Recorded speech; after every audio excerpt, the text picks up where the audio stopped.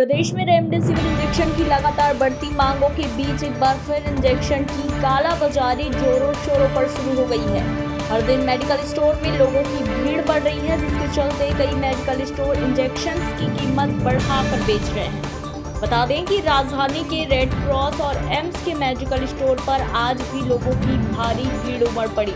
एक ओर जहाँ कुछ अस्पताल और मेडिकल इंजेक्शन नहीं होने का हवाला दे रहे हैं तो वहीं दूसरी ओर कुछ मेडिकल स्टोर और चोरी छुपे लोग रेमडेसिविर इंजेक्शन को दुगने तिगुने दामों में बेच रहे हैं। जिला प्रशासन तमाम कोशिशों के बाद भी कालाबाजारी करने वालों पर लगाम नहीं लगा पा रही है। आलम यह है कि लोग अपनों की जान बचाने के लिए मजबूरी में ज़्यादा पैसे देकर भी इंजेक्शन खरीदने को मजबूर हैं।